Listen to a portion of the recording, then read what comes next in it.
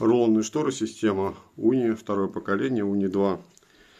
Ткань Зебра, Глория, Blackout.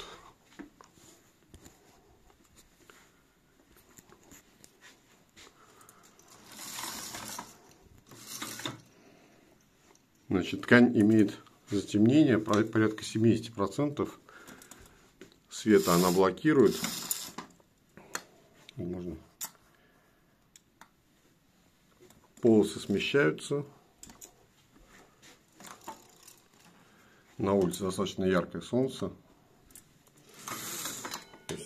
Для того, чтобы затенить помещение, этого вполне достаточно.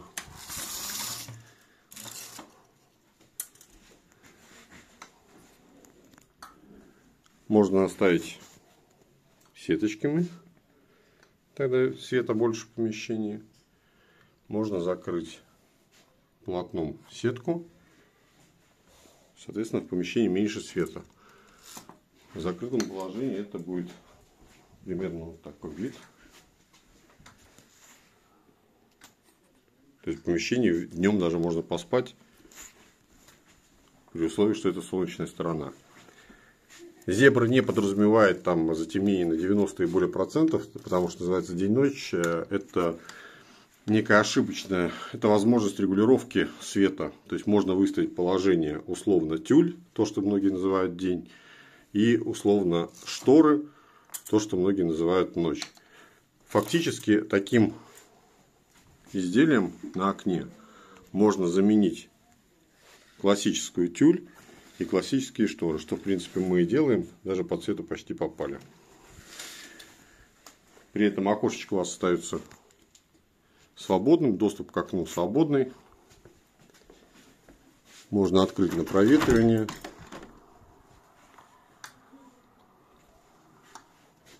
Ткань поднимается полностью в короб. Делая ваше окно абсолютно открытым.